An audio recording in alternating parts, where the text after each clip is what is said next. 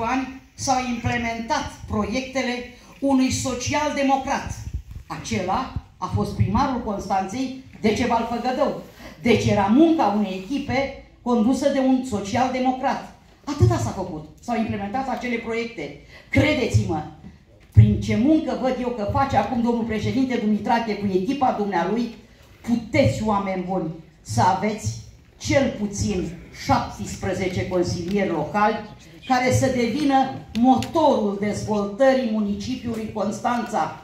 Oameni pregătiți avem, însă trebuie să le oferim ceea ce al cezarului, dreptul și locul pe care îl au în echipe.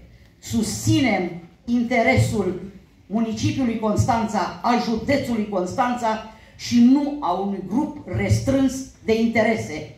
Pentru mine, acesta este crezul pentru care muncesc în echipa social-democrată la nivelul județului Constanța.